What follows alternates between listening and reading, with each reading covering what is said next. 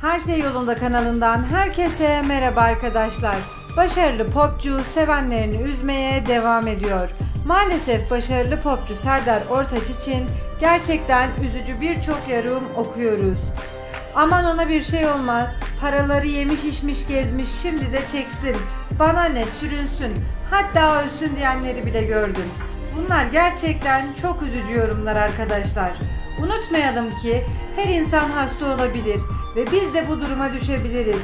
Hiç kimse için böyle yorumlar yapılmamalı. Bana katılanlar ve içinde az da olsa vicdan olanlar bu videoyu lütfen beğensinler.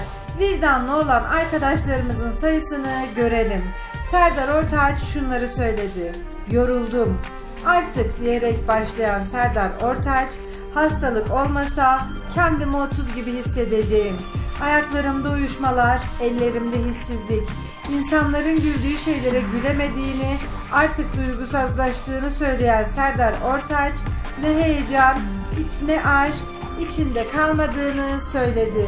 Beni dinlediğiniz için hepinize teşekkür ederim. Serdar Ortaç'a Allah'tan şifa diliyorum. İnşallah tez zamanda eski sağlığına kavuşur. Hoşçakalın arkadaşlar. Allah'a emanet olun. Görüşmek dileğiyle.